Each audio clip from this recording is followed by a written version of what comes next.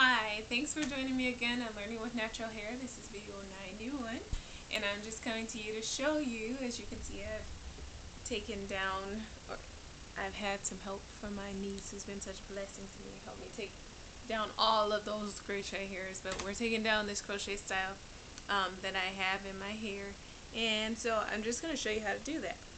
So if you look under here you see all of these have a similar loop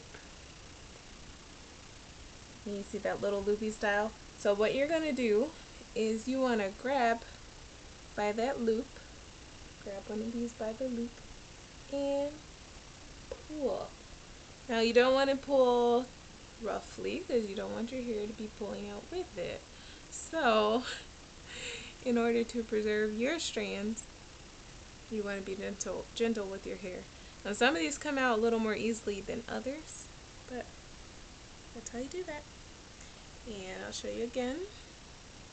So find that little loop, pull that little loop, and it gets a little uh, friction in there while I'm pulling out, but just be careful that you're not pulling on your hair um, too much when you are doing it.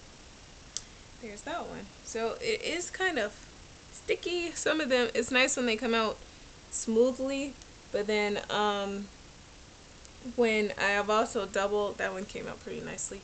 I've also double looped these when I was crocheting. Um, and so it, that could have something to do with that friction while taking these out. But you do want to be gentle with your hair because you want to have your hair as full as it was. as full as you can possibly have it as full as it was before you put the crochet braids in. You don't want to be pulling your hair out.